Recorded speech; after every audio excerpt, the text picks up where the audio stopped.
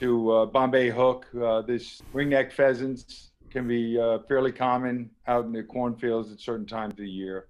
If you're lucky, you can get a, a nice close photo.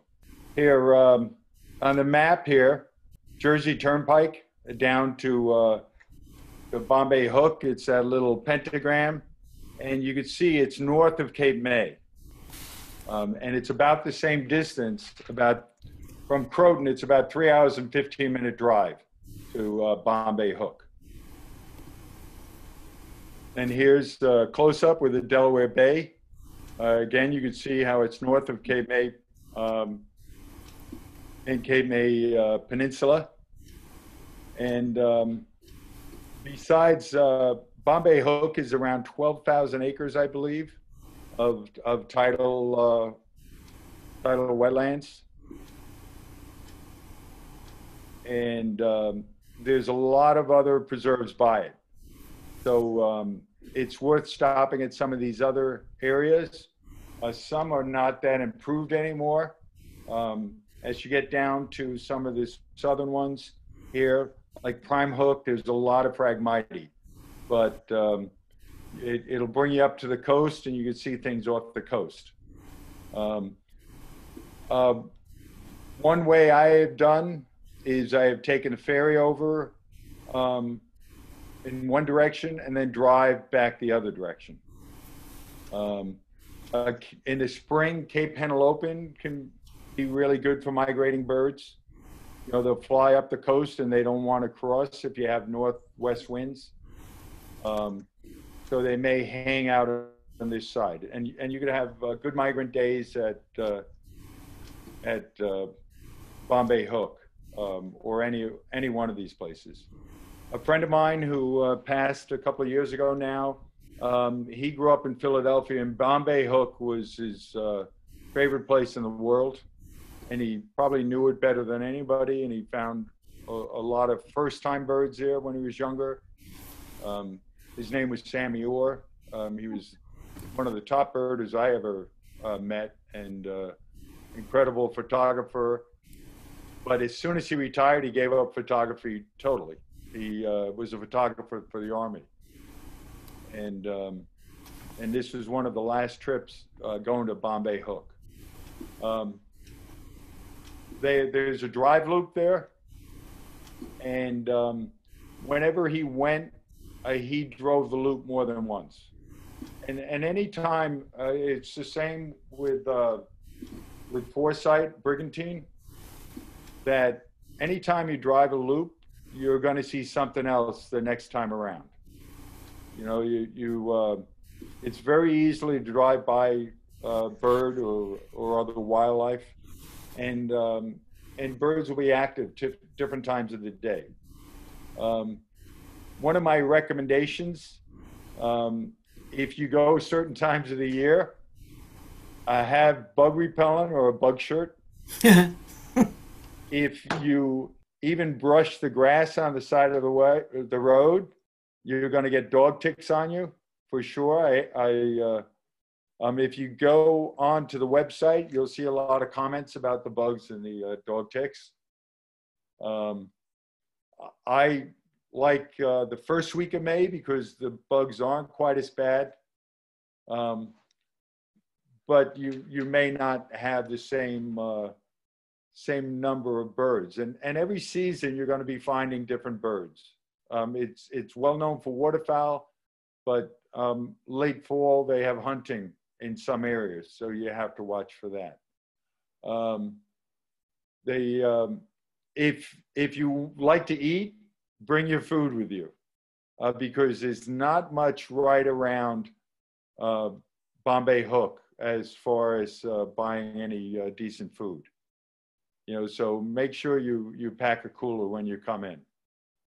Um, uh, it, here's just some information. Um, it, it, opens uh, half an hour before sunrise and half an hour uh, after sunset. It's still open. Uh, the visitor center, uh, it's been closed right now, so um, uh, but they do have restrooms here. And let's see. Uh, And, and they also talk about um, you can't use recordings in any national wildlife refuge now to, to call in birds. Uh, you could fish, but um, it's becoming a, a problem with, a, with um, everybody has easy access to bird calls on their phone. And um, it, it, can be distressing uh, for some birds, or it can get some birds that overshoot their territory uh, to stay because they think there's there's like species around. So the last uh, about four years now, they've had a Swainson's warbler at Higbee's Beach in um, in uh, Point, and um, uh, people play the calls so they could see it because it's a very secretive bird, and and the bird's been coming back every year and not uh, not breeding because there's no females there. You know, and and maybe it would have uh, relocated if it didn't hear another bird calling back to her, to to it. Um, one of the the great things now about uh, the internet is uh, if you go online, they have recent bird sightings. So through eBird, uh, their list this is uh, is the uh, the 26th of uh, okay Monday, and uh, these are some of the sightings that they had. And if you scroll down this, this is just one, probably one section of an eBird list. If you go online and scroll down, you'll get multiple eBird lists, and um, and really get a good idea what to expect when you go down there. So you could you could kind of look, uh, you know, a, a, few days out before your trip, um, what you're going to see. So you, they've already have a, a, good number of avocets. Uh, you can see towards the top of this, and um, and they have uh, blackneck stilts which breed there, you know, and that's really one of the target birds for people when they go down there. Um, you, you have the, these different impoundments that you drive around. And uh, tide, um, if you pay attention to the tide, it could push the birds closer to you or further away. Um, this is a, a, wave of shorebirds that may have been kicked up by a, a falcon or something. But um, uh, that's uh, maybe Shearness Pool. Um, here's a blackneck stilt with uh, you know working some of the pools. Um, you you could go down there and see dozens, or or maybe be lucky enough to see some chicks, and uh, and more shots of them, and uh, and your car can be the best blind, and it, it also uh, it also helps you from uh, uh, with protection from the mosquitoes or the or the green-headed flies which uh, could be even more torturous than mosquitoes. And then avocets, uh, these are some other birds you can see there. Um, a lot of different shorebirds, black-bellied plovers, and uh, mixed flocks. You see black-bellied plover in here and heron, dunlins, and uh, some peeps. Um, here you have a phalarope, um, and uh, and some dowitchers and uh, yellow legs, and I'm sure Tom could pick out some other shorebirds in here. And uh, at you'll find them right around the visitor center. Um, Lee sand, sandpipers, spotted sandpipers. Uh, we drove into a parking lot, and there's one feeding right in the parking lot um, when we were down there the last time. Um, uh, Willets, uh, the, the shorebird list goes on and on. Um, one of the, uh, the top shorebirders of all time, Claudia Wilds, it was her favorite spot. She was from DC and she uh, led a trip that I didn't go there. Um, my wife went and they had curlew sandpiper and, and white-winged tern. Um, you know, so you just never know what you're going to find when you go to these places. You know, it's kind of, you just have to look at it as a big dinner plate and there's a lot of food on that plate and the birds are going to stop there. um, uh, buff uh, breasted, uh, buff, um, yeah, uh, sandpipers. Uh, this is actually shot in Cape May, but you'll find them down there too. Um, you have these boardwalks going out into the salt marsh. And um, as long as you're out there when the mosquitoes aren't bad, you can spend quite a bit of time. And usually the first week of May, it's not too bad. And um, you, you'll get uh, some opportunities to, to get some nice photographs. Uh, tree swallow here. Um, uh, seaside sparrows are all over. Um, this was shot from that trail. Um, they just get up there and sing away. And um, you'll also get uh, salt marsh sparrows too. Um, a lot of marsh wrens. Uh, you can catch them building their nests. Um, again, singing away, very easy to find. And you may find sedge wrens, they've been recorded uh, uh, breeding there.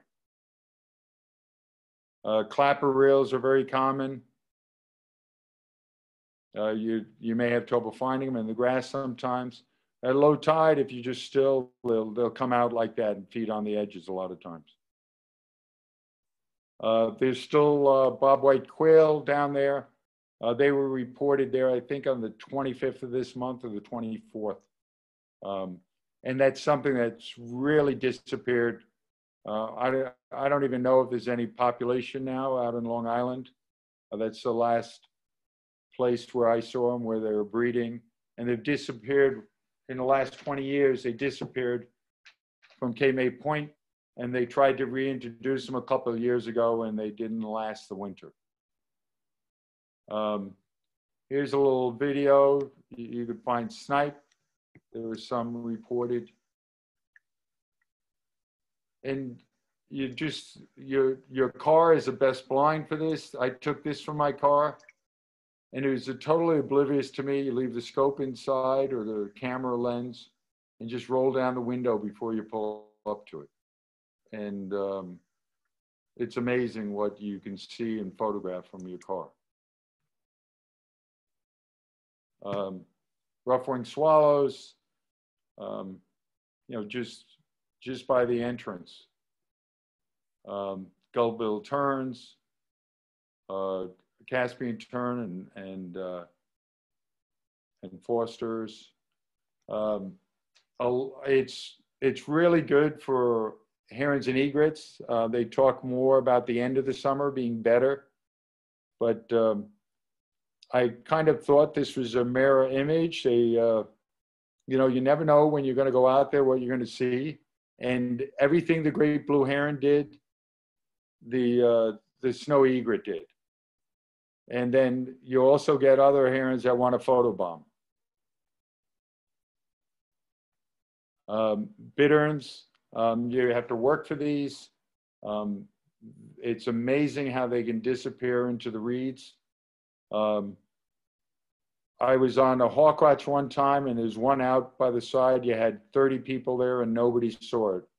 And um, until one person spoke up, and I'm not going to say who that was. Um, least bitterns, there's a freshwater impoundment there. They breed there. But this one was actually, I found because of Aunt Swain at, uh, at Forsythe, Brigantine. Uh, they had seen it, and then I found it building a nest. I went there and staked it out. Egrets, uh, great egrets, and and uh, night herons, young black crown night herons, and the the breast on these is a little chunkier head. The breast is more smudged, and and I look at these as more like a Christmas tree on the on the wing instead of a triangle like the yellow crown night herons and they're they're more finer streak in the front, and you see that thin neck and smaller head with the oversized bill compared to the head. And then another displaying, and um, a lot of these shots were taken at the Ocean City uh, Visitor Welcome Center in Jersey, and uh, now's a perfect time of year to drive down there. And here's a uh, a bored or hungry um, yellow crown night heron, and uh, a little uh, parenting with uh, with young uh, glossy ibis at a rookery. And cattle, cattle egret has become a harder egret uh, to see. Um, it's, they still consider reportable down in Cape May. And uh, tricolored herons, which we don't see that much up in New York anymore. They used to be more common down by Jamaica Bay. And uh, and a little blues, which we really never see them like this in in Westchester in full breeding uh, display. They they seem to be passing through when we see an adult. And uh, now a uh, an expanding bird is uh, white ibis, and then some laughing gulls to the right. Um, these were reportable down in Cape May when people saw them, and they said, "Please stop reporting them." because you can report them every day, and they actually overwintered in uh, in southern Jersey this year. Um, a glossy ibis, uh, really subtle colors, beautiful bird, and little greens, which you see up here more commonly. And then raptors, you could at any time see a merlin out there hunting or or uh, in migration and peregrines any any time of year down at Bombay Hook. A lot of muskrats. Uh, they have beaver there, and they they report nutria now too, uh, down in Bombay Hook. So they've ex- expanded from being introduced down in uh, in Florida. Um, they've expanded up to uh, into Delaware at least, maybe even southern Jersey. Um, a good place for butterflies. Uh, this is uh, Henry's elfin that I found on one of the roads there. Uh, their host plant is uh, holly, um, which is a lot of holly uh, in the forest down there. And uh, coral banded hairstreak. Um, another, it's we will get it up here, but it's I see it much more regularly down in Delaware or southern Jersey. Uh, Fowler's toad, they like sandy areas. Um, they're, they're out on Long Island also. I've never seen one in Westchester. Uh, they don't do well in rocky area. If you go to, uh, when they're breeding, um, they're very noisy. And uh, at certain times of year, you'll find them all over the road. When you're in Bombay Hook, you want to be very careful driving because you, you um, You'll get a lot of uh, amphibians and reptiles crossing the road uh, or just sunning in the road. Um, I've had a lot of firsts down, uh, down in uh, Bombay Hook. Uh, this is a cricket frog. It's actually smaller than a, uh, a spring peeper, if people are familiar with that. You have these down there in southern Jersey. And then um, a stink pot turtle or um, uh, maybe a mud turtle. And um, it looks pretty big in this photo, but that shows you the size of it.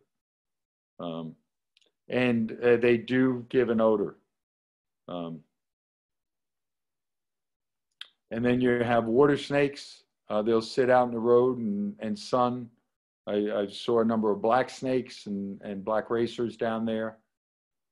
And this was a lifer for me. Um, this is a worm snake. So I had never found one before. They're in southern Jersey. Uh, they may be in Long Island, I don't know, but they're down in Bombay Hook. And um, I found this by, I tend to, uh, I went on a trip one time to Costa Rica with Bedford Audubon, and they called me uh, Charlie Log Turner. Um, I, I couldn't pass a log without turning it. And if you're down in Costa Rica and you turn a log, you want to turn it towards you. So if there's a poisonous snake, you have the log between you and it. And I would see a log and everybody would take 10 steps back. Um, but um, I turned a log down in Bombay Hook and it fell apart. And this was in the middle of the log. So they're very hard to see and I had been looking for longer than I care to say. Um, painted, uh, excuse me, I want to say painted turtle.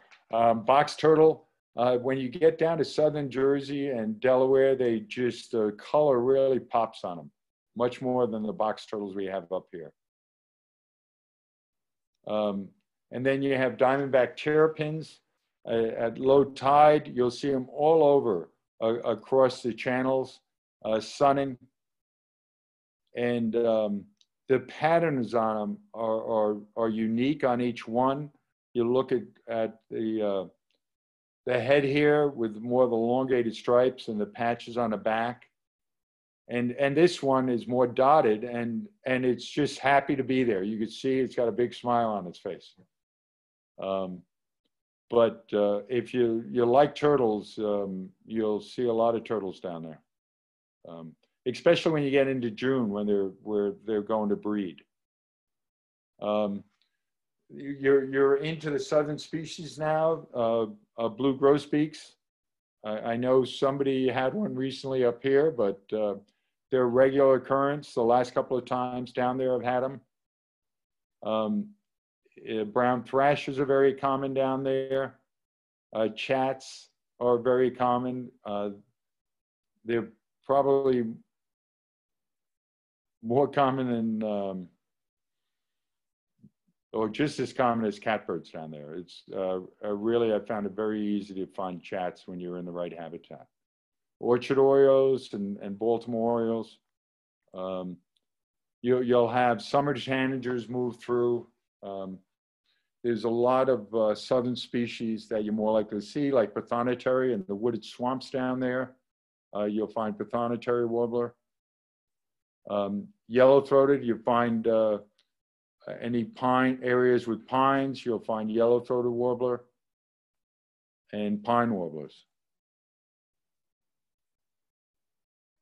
A common yellowthroat are still common down there.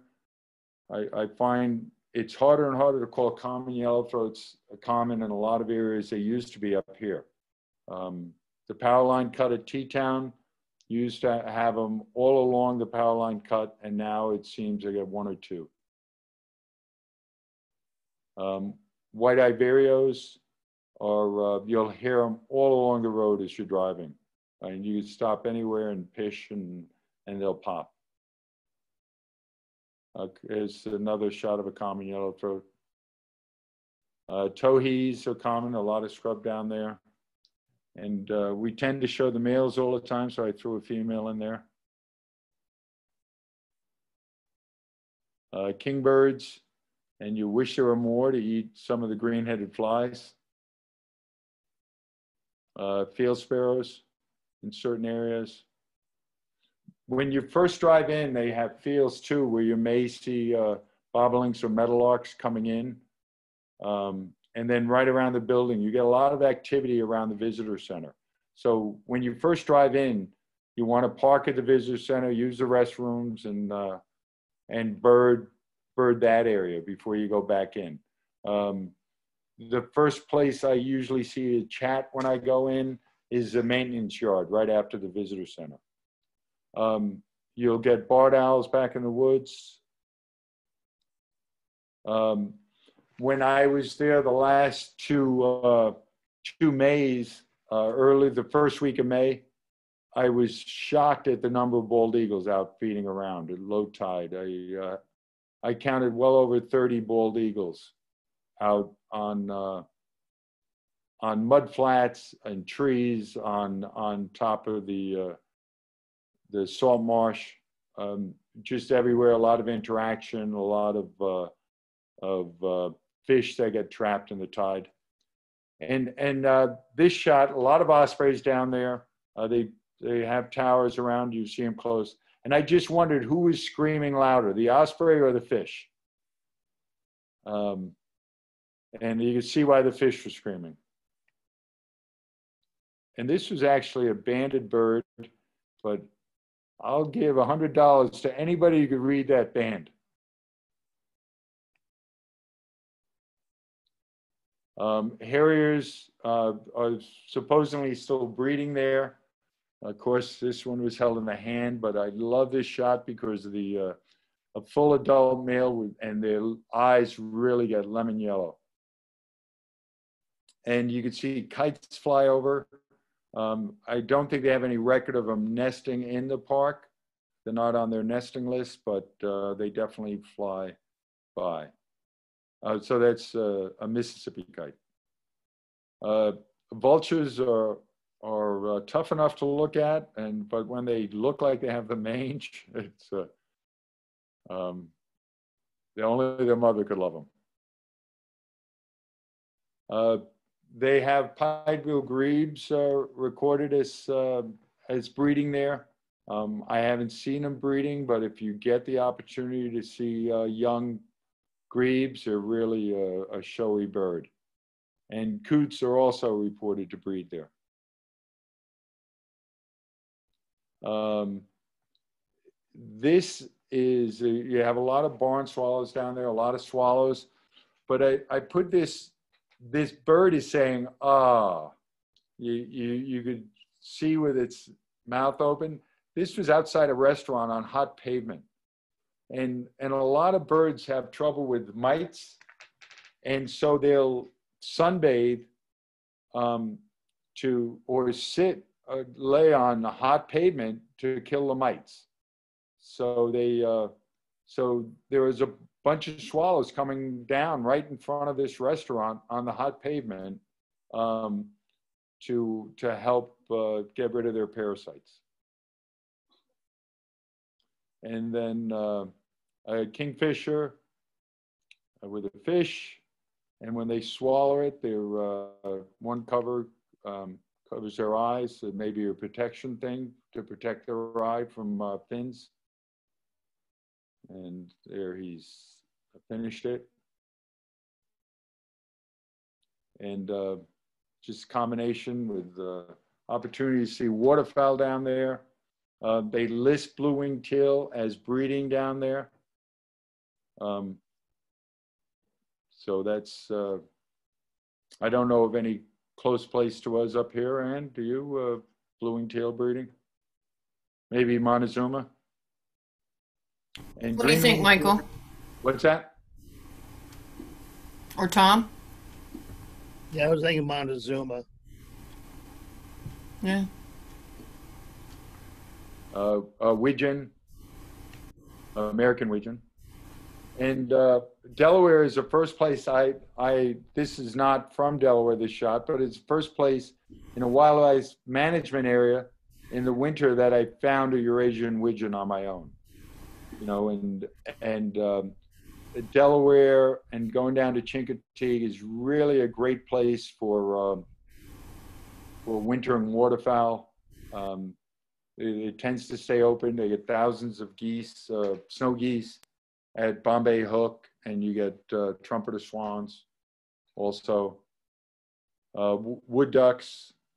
Um, this uh, this female wood duck sure had her hands full. Um, wood duck's egg dump. So um, we don't know how many moms were responsible for these. And a few years ago, up in uh, in the Yorktown marsh or swamp by the bike trail, uh, wood duck raised a uh, a hooded merganser. Uh, they also egg dump. So they were successful in getting one of their young raised by a wood duck. Um, ruddy ducks, you may get some late, late migrants, so you're gonna get to see them in breeding plumage. I heard uh, up in Lake Carmel, which is great for waterfowl up in Putnam County, uh, they have some breeding plumage. Uh, at least last week, they had some breeding plumage ruddy ducks. And this bill is not uh, as blue as they'll get. Um, shovelers, I've seen them. Uh, I, they may breed down there. I've seen them in mid-May in Bombay Hook. And uh, in the winter, the uh, tundra swans. And uh, if you watch, if you watch the uh, tundra swans feed, a lot of ducks will follow them around because they could reach further down into the water to pull up uh, uh, weeds and grasses. And they're less aggressive than the mute swans. So I, I've watched, and um, the mute swans will chase the other ducks away from them. Um, once in a while, you get one that that is more tolerant, but you could have seven tundra swans out here, and you'll have a duck with each tundra swan. Where the mute swans, you might have 20 mute swans, and you'll have one duck with one of these uh, mute swans uh, looking to grab grab food as they bring it up from deeper in the water. And then again, the ringneck pheasant. Um, this is from the car, and just the colors uh, that you get um, from a ringneck. And uh, and taking the Cape May ferry, um, I call it the uh, the poor man's pelagic trip. It's about 18 miles across uh, the Delaware Bay. They have a sunset cruise. Um, one of the newer ships, they, they used to show uh, uh, Disney videos to keep the kids occupied. Um, it has food on board. Um, I, I wouldn't say it's as good as the food we had up in Canada on the, uh, on the ferry boat, but uh, it's edible. And uh, if you pay attention when you're going across, um, you, you can see all sorts of birds uh, from the ferry. Um, uh, this is a parasitic Jaeger. Um, they're, they're coming in to chase the terns probably right around now down in, uh, in Delaware Bay. And you can see dark and light. You could get Pomarine um, also. Um, at any time, you could see brown pelicans fly by. Um, earlier in March, you'll get this um, uh, flocks of gannets in the thousands feeding on, on bait fish or schooling fish. So it's, it's kind of like a giant sewing machine with these birds kind of coming up and diving down into the water. So you can see the splashes underneath there. And um, there'll still be some down um, in Cape May. If you take a ferry across in mid-May, you'll still have some and some of the younger, darker birds you see on the left here. There's uh, an immature, or over on the right, immature. And then red-throated loons, um, well, well into late May, you'll see them. Um, if you get lucky, you might even have one coming into breeding plumage uh, or in breeding plumage uh, before they migrate north. They seem to be one of the later nesters up there. Um, I did have them nesting in Canada and they were just doing their breeding and that was in July, beginning of July. Um, you're less likely to see this time of year, but in the winter, they're all over the Delaware Bay. Um, so any time of year, you might see some different things. You see a lot of dolphins. Uh, they have seen uh, humpback whales from the uh, ferry boat. Um, and you could, uh, you could even, some people even take it uh, two ways where they, uh, they leave their car so it's cheaper and they do a walk on and they ride across um, looking for water birds. You could also see Wilson's phalarope from uh, excuse me, um, well, you could see phalaropes, but wilson's storm petrel. Um, on the rocks uh, coming in and out of both sides, the uh, jetties, you'll get ruddy turnstones and uh, purple sandpipers uh, feeding on the jetties. Um, they've, they've had uh, a few years ago that a Franklin's gull sitting on the jetty. Um, you, you, just, uh, you're kind of at a crossroads of migra migration, so you don't know what uh, you may see. Um, this year was a very good year over by Delaware. Uh, they have the shoals off there to block the uh, waves coming into the uh, port. And I just wish the uh, ferry boat would slow down and go a little closer to the shoals, so the, the rocks, so you could see all the birds out there. Because it, when I went by the last time, uh, uh, the, there was a lot of stuff out there that you couldn't make out. Uh, flying across any time, here's a bunch of uh, great blue herons migrating across the bay. Um, they actually do a spring watch um, at Coral Avenue to see birds fly, fly off the bay. And you could do it on either side. You could do it Cape Henlopen, um, looking in the fall. They, they, um, one year they reported monarchs migrating. Uh, they took off in the morning um, when the wind was right. They, they estimated um, it was like 800 a minute or something like that flying out. And they saw a wave coming from the other side. Um, so people went to the shore and just saw waves of, uh, of monarchs migrating.